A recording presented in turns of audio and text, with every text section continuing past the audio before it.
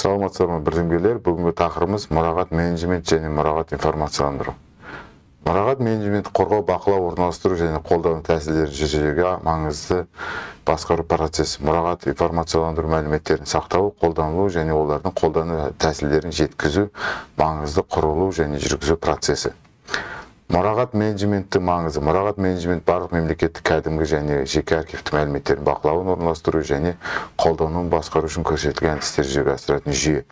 Ұлттық архивтік политикалық және ұлттық архивтік бақылау жүйесі ұлттық архивтің менеджмент негізінде тақырыбы оның маңызды мақсаттары мен ұсыныстары. Мұрағат менеджерінің ұзақ мерзімді маңызы бір мемлекеттік кәдімгі немесе жеке архивті мәліметтер қорытындысының сапасы мен мемлекеттік қызметтерін жүргізу туралы біліммен жабдықталған. Мұрағат информацияландыру мұрағат мәліметтерінің өмірін арттыру электронды архивтік платформалар мен технологияларын пайдалану архивтердің мәліметтерін сақтау мен қолдану маңызды өлшемде артты.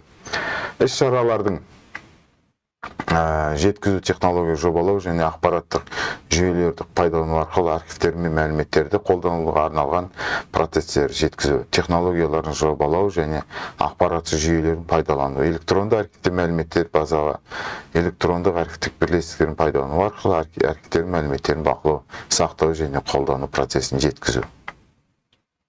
Мұрағат мәліметтерін жинау сақтау және қайта қайта процестерін автоматтандыру технологиялық жобалау және ақпараттық жүйелердің пайдаланылуы мен архивті мәліметтерін жинау сақтау және қайта қайтарылу автоматтандырылуы электрондық мұрағат платформаларын пайдалану электрондық болып саналады.